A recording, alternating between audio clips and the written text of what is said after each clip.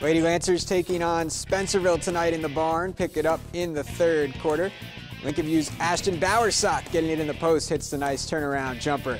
Spencerville now getting it done in the paint, picking up two points there. Spencerville again off the fast break. JC Grigsby, the nice move to get the layup. Other end, Lincolnview's Julia Thatcher. Big three from the corner. That's a nice answer for the Lady Lancers.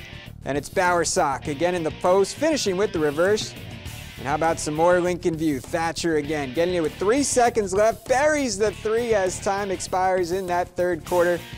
Final score from the barn, Lincolnview edges Spencerville by two. Close game.